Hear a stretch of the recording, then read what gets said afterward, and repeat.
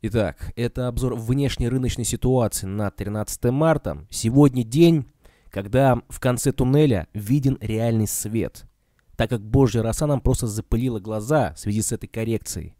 И, наконец-таки, сквозь грозы сияет нам солнце свободы. И центральные банки, а главное, вакцина от коронавируса нам путь озаряет. Начну для начала с центральных банков. Отмечу первый момент. ФРС ФРС, американский центральный банк, напечатать полтора триллиона долларов для спасения рынков. То есть Федеральный резерв включил печатный станок на радикально полную мощность, то, о чем говорил буквально глава ФРС несколько месяцев назад. Если ситуация в экономике ухудшится в связи с издержками коронавируса, то врубается на полную мощность печатный станок. Все. Он это сделал.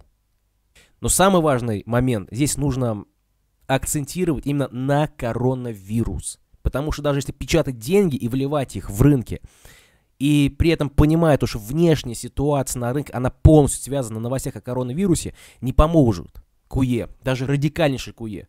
Но, сейчас одно очень важное но. Помните, я говорил раньше про компанию Модерна на последнем прямом эфире, то, что она создает вакцину от коронавируса. И вот, вышла новость. Вакцина от коронавируса компании Модерна прошла успешное испытание на животных. После этого планируется клинический тест на людях. То есть, в чем главный момент? Постепенно ситуация разруливается на рынках. Буквально вот из-за этого. Иными словами, как выйдет шквал позитивных новостей об этой вакцине, рынки, они радикально развернутся потом. Почему? Потому что, я еще раз говорю, все зациклено сейчас на коронавирусе. И даже исходя из нынешней ситуации на рынке, давайте говорить по факту, за первый квартал по разным компаниям выйдут фиговые отчеты. В частности, это будут на американских, э, в американском секторе. Плохие отчеты будут у голубых фишек американских, это у, у компании Apple и прочих там, какие у нас имеются. Boeing это вообще труба полная. Хотя, в принципе, я напомню то, что про Boeing я раньше свое мнение выражал и говорил, что покупать ее по 300 долларов ни в коем случае нельзя. Это уже переоцененная бумажка. По 150, по 100 и ниже. Там вполне резонно подбирать, но по 300 слишком сильно. Ну и прочие компании американского рынка. В принципе, даже исходя из ситуации в адрес России, российской компании, экономики, могу сказать следующее, что нынешняя ситуация за первый квартал 2020 года, она также повлияет на российские компании. Я отмечу даже другой фактор того, что нефть упала, всем очевидно.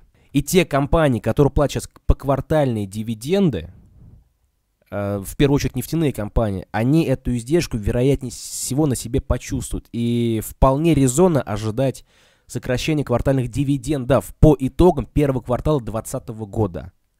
Первого квартала 2020 года. Не за весь 20, а именно первый квартал 2020 года. За весь 2020 год пока еще рано говорить. Лишь только начало года наступило совершенно недавно. Вот, исходя еще из ситуации с центральными банками, видим то, что Центральный банк Японии, Центральный банк Европы, Центральный банк ФРС, они сейчас максимально сильно вливают деньги в экономику. Ну и также скоро подключится к ним Центральный банк Англии, вероятно, 26 марта, именно а, с политикой количественного смягчения, то есть КУЕ. И отвечая на вопрос, что сегодня творится? Отскок или начало нового бычьего тренда? Граждане, это отскок. Отскок после дикого падения. Тем более, помните, что сегодня еще и пятница, и идет также массовое закрытие позиций, шартовых позиций инвестдомов. Поэтому и такой отскок он тоже постепенно провоцируется. То есть этот момент тоже необходимо учитывать. Вообще, если говорить по факту, если говорить вот, вот реально наперед по факту и по честности, сейчас самое время подбирать российский рынок уже на с э, инвестиционными целями на несколько лет вперед. Я отмечу даже другое, то что я, конечно, помните, если говорил, то что будет обвал на рынках, будет такая вот, скажем так, эм, глобальная коррекция.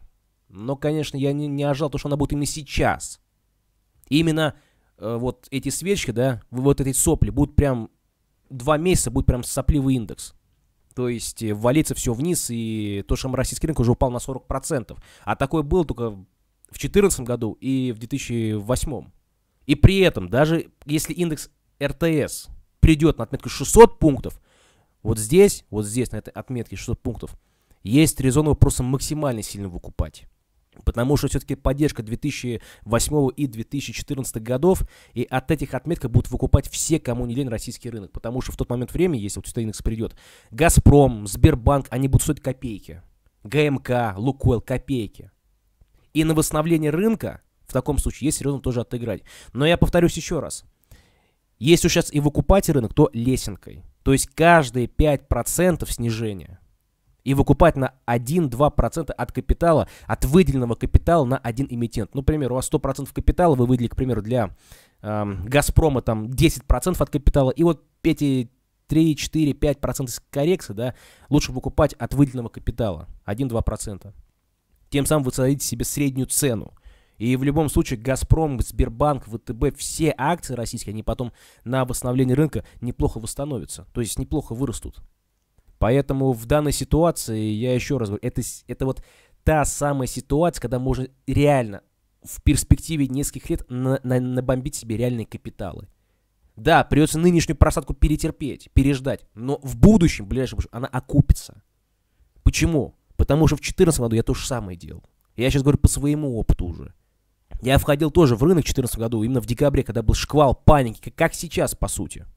Но потом на восстановлении рынка я до 2018 года держал свои большие лонговые позиции. И в 2018 году я только стал их раздавать. И потом плавно перешел под спекуляцию. И по большому счету ситуация аналогична. И эта ситуация, еще раз говорю, необходимо реально люто пользоваться. Прям как психом безбашенным быть, но реально им пользоваться, этой ситуацией. Далее хочу отметить одну информацию по теме инвестиционных домов. Сейчас, если вы заметили, вам, наверное, приходит в качестве оповещения от ваших брокеров шорт одной акции, шорт другой, ну, такие рекомендации инвестиционные. Шортите то, шортите все. И что у нас получается по факту? Если призывают в шорт, то я не удивлюсь, что вот эти инвестдома, у которых у вас открыты брокерские счета, они уже постепенно рынок откупают. Откупают его лесенкой. Все очевидно и все просто. Шортить сейчас рынок, даже отвечая на этот вопрос, шортить рынок сейчас это очень рисковое занятие. Почему? Потому что сейчас проходит буквально пик паники. Либо даже около пик паники. Тот же самый индекс страха уже на двух пунктах стоит. А, к примеру, индекс волатильности, индекс страха S&P 500, он уже превысил отметки 2008 года. То есть те, кто вот сейчас думает что-либо пришортить, вот здесь просто будьте аккуратны. Потому что на такой реально лютой панике, панике, сейчас шортистов, шортистов забивается очень много в акции. Я тоже мониторю форумы, я понимаю, что стоит выйти одной маленькой позитивной новости про коронавирус, и сегодня, в принципе, она была. Вакцина от компании Moderna. А если вы такая вот средняя, может даже большая новость о том, что все, вакцина создана, на людях прошла она успешно, шортовый вынос и посадка на бутылки будет самой жесткой и лютой, хлеще, чем в 2008 году. То есть и этот момент тоже необходимо учитывать. Если, как говорится, вам капиталы свои дороги, то шортить сейчас рынок нет никакого смысла. Есть смысл рынок подбирать, а шортить его это уже беспонтово. Но даже если его и шортить, то со самыми прям со самым радикальным наблюдением в терминал. И главное, про стоп-лоссы необходимо помнить. Но все-таки лучше с шортами в сторонке постоять. Как говорится, лучше постепенно позиции набирать, пока индекс РТС на 1000 пунктов стоит, а то и даже ниже его подбирать. Там до 600 пунктов. Чем просто шортить. Вот, и последний новость по поводу нашего Центрального банка Российской Федерации. Я запостил минут 20 назад новость в нашем чате телеграм-канала. Э, то, что рынок начал готовиться к резкому повышению ставки ЦБ. Я отмечу другое. И они повысят ставку, Центральный банк РФ, в случае, в случае форс-мажорной панической ситуации на российском валютном рынке. И в данном контексте я могу приравнять его нынешние события как к 2014 году, когда ЦБРФ просто радикально повысил ставку, чтобы радикально укрепить рубль. Поэтому и в данном контексте, если рынок уже начал закладываться в повышение ставки, то вот спрашиваю меня, стоит ли брать доллар. Господа, сейчас вообще валюту, если у вас нету валюты, то валюту лезть вообще не стоит. Почему? Одно решение от Центробанка, там, не знаю, повышение ключевой ставки, все. Если вы взяли, к примеру, там по 75-77 рублей за доллар, то потом вам придется, грубо говоря, сливать его намного ниже. Может 70 рублей, потом может 69. Еще и гэпы остались, причем не закрытые, на, на уровне 64. И туда рано или поздно цена все равно придет. Потому что Центробанк, он он любое решение примет, на фоне чего укрепление рубля может быть радикальнейшим. Даже если ставку повысит. Укрепится. Это уже пройденный этап времени, и его необходимо также учитывать. Да, и если говорить конкретно про нефтяной рынок, ситуация там постепенно стабилизируется, и отвечая уже на конкретные эмитенты, именно про, как минимум, Татнефть компанию, меня просто спросили по ней, а попадет ли она под раздачу. В плане отчетности вполне, но если опираться на заявление правления компании о том, что им просто глубоко фиолетово, какая будет цена нефти, ну, в принципе, я думаю, они немного сутрировали эту ситуацию, потому что если цена нефти, условно говоря, будет 20 долларов, то и компания тоже будет нести в себе определенные издержки. То есть такой, в такой ситуации необходимо будет просто наращивать добычу нефти самым радикальнейшим образом, чтобы все эти убытки потом отбить. Но отмечу по Татнефти другое, то что правление компании буквально на днях заявило о том, что они по факту являются дойной коровой для Татарстана, правильно? Бюджет, в бюджет Татарстана идут дивиденды от нефти. И поэтому они заявили одну главную вещь. Если даже доходы компании упадут, то дивиденды не менее 90 рублей они будут выплачивать. То есть они готовы даже брать в кредит, но выплачивать. Издержки тоже будут, да. Но они готовы пойти на самый радикальный путь, радикальный образ, чтобы все-таки и с миноритариями, и с мажоритариями э, дивидендами считаться. Но все-таки, я думаю, в плане цены на нефть, она рано или поздно восстановится, потому что разные, повторяюсь, форс-мажорные моменты на рынке нефти, они могут быть. Либо диверсии, либо, встре либо встреча РФ и саудитов в рамках ОПЕК+, что угодно может быть, то, о чем мы сейчас не можем даже предположить. Поэтому уповать на то, что ситуация крайне радикальная, ну, я пока бы не стал. Еще рано делать такие в прямом смысле выводы. Очень рано. Да, и последняя, наверное, новость уже сейчас. Это то, что Дисней приостанавливает работу парков развлечений в США и Франции из-за коронавируса. Тут имеется определенная издержка для этой компании. То есть, у кого она имеется в лонгах, э, тут нужно быть с ней крайне аккуратным. Сейчас тоже я из первых уст знаю, что творится на европейском континенте. То есть, там не скажу, что паника, но определенный ажиотаж в связи с коронавирусом имеется. Знаете, вот меня больше напрягает, повторюсь, повторюсь еще раз, именно Италия. Они там проявляют сейчас самые радикальные моменты в плане устаканивания ситуации с коронавирусом, скажем так. У Англии, ой, пардон, у Италии сейчас с бюджетом большие проблемы. Даже правительство этой республики, итальянской республики, заявляет о том, что хотят, не собираются, а вероятнее всего хотят, опять же, вероятнее, они заявляют, чтобы объявить дефолт страны. И вот еще раз напомню вам, вот на эту ситуацию нужно просто смотреть крайне аккуратно, потому что они уже не первый, не первый месяц об этом говорят. И причем очень все отчетливее, отчетливее и отчетливее. Просто вбивают, вбивают, вбивают в головы рынку эм, свою вот эту тематику. Я все-таки думаю, что они до этого шага не дойдут, потому что какие-либо привилегии со стороны Евросоюза для Итальянской Республики вполне вероятно и будут, чтобы вот... Потому что Евросоюз, он тоже понимает, объявление дефолта Италии – это полная задница. Это задница для всего Евросоюза, для всей еврозоны, скажем так. Падение рынков, шквал негатива, банкротство Deutsche Bank, все это – Поэтому, чтобы эту ситуацию, этот острый угол миновать, какие-либо поблажки для Италии будут со стороны Евросоюза предоставляться для Итальянской Республики. Поэтому и в подобной, в подобной ситуации, я думаю, эту ситуацию разрулит. Так как этот острый угол, он крайне заостренный. И если на него напороться, то можешь себе, не знаю, брюхо вскрыть, условно говоря. Ну, неприятные последствия могут быть, иными словами.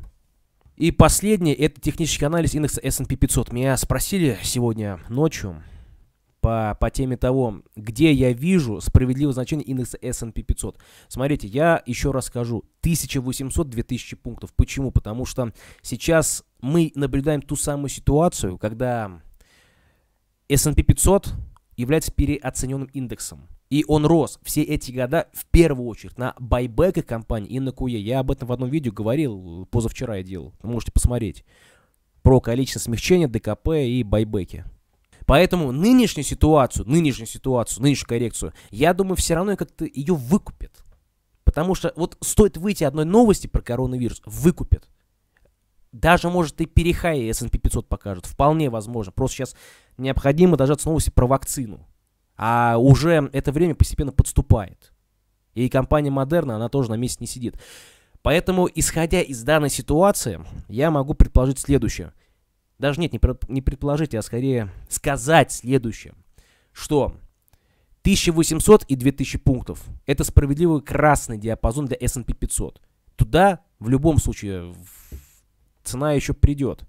Вопрос когда? Потому что сейчас необходимо учитывать самый главный фактор, то что у центральных банков Европы, Америки, Центральный банк США имеется в виду, не осталось, я бы сказал, эм, маневра. Они ставки настолько сильно по поснижали, ключевые ставки, что теперь их необходимо будет в скором времени, а может, это даже вполне реально после выборов американских, повышать. А повышение ключевой ставки, это всегда играет радикально в адрес рынков. Они прям валятся всегда. Это негатив для рынков. Издержки. Поэтому вполне резонно ждать того момента, чтобы S&P 500 задрали вверх, и все. Перед выборами, опять же. А что будет потом? А потом будет диапазон 1800-2000. То есть именно там, именно там, я американский рынок, определенные эмитенты, уже выделенные сейчас для себя, я их и буду приобретать именно там. Не сейчас, не по 2500 пунктов, а именно 1800-2000. Еще раз, это красный диапазон, это краснее советского флага. Поэтому я сейчас с рынком США не тороплюсь, а вот с рынком РФ, РФ есть смысл пошевелиться. Поэтому и на месте, как говорится, сидеть не приходится. Ну и последний аспект по поводу бычьего тренда. Смотрите, сейчас я включил месячный график по S&P 500. Тренд бычий пробит только шипом, но не свечой. Это месячный график. И пока что, пока что идет бычий тренд. Коррекция в пределах бычьего тренда, 11-летнего. Поэтому пока, пока нельзя утверждать, что медведи закрепили здесь надолго. Нельзя этого утверждать пока что на сегодняшний день. Вот когда пробьет этот бычий тренд свечой, тогда мы и скажем. Когда вот месячный график будет здесь виден, что все, март пробитие, тогда можно будет утверждать на 100%, что все, медвежий тренд настал, примигастал. Все. Пока еще рано утверждать об этом. И даже беспрецедентно. Учитывайте это, пожалуйста. В принципе, на этом все. Подписывайтесь на канал Саймонов Биржевик, канал о рынке акций. У нас основы биржевой торговли, аналитика, обзор акций, облигаций, технически фундаментально, обзор индексных фондов, а также торговые идеи. Краткосрочные, среднесрочные и долгосрочные. Помните, что мы все обречены на прибыль. Лишь время и грамотная стратегия – наши главные союзники. На этом все. Благодарю за внимание и до свидания.